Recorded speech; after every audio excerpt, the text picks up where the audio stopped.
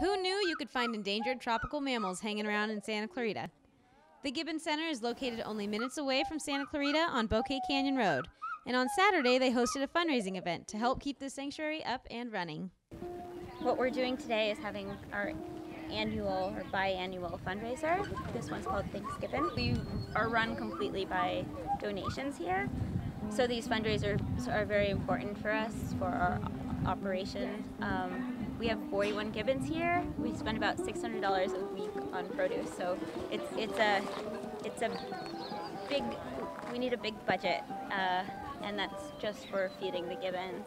The center is always in need of some extra hands, so getting involved with the endangered unique creatures is easy and fun. We're open every Saturday and Sunday from 9:30 to noon, and you can just you can just come. You don't have to make an appointment. We are right now in the process of developing an educational program, and eventually it will be K through 12. Uh, but it's starting. It'll start in, I believe, next semester, and that'll be for second and third graders.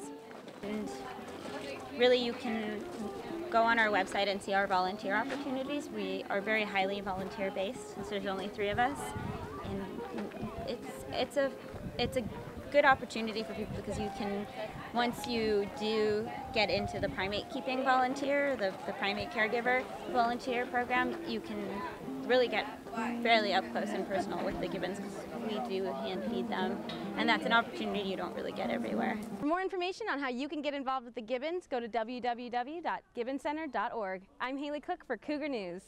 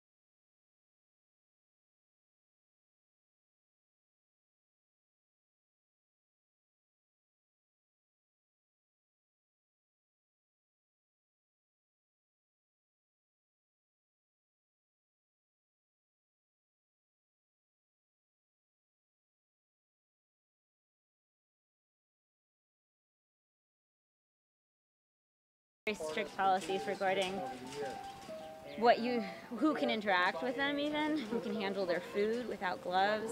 Um, we even what we try and, and do is um, we, we never we never our policy is we if I won't eat it given we can't eat it. So we, we have to give them kind of fresh produce every day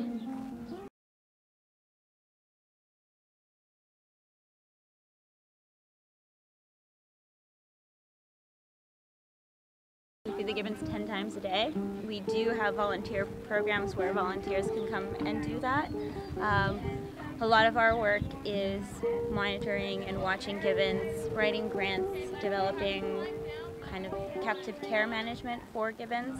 Not, not that many people work with this many gibbons, so we have a lot of experience here.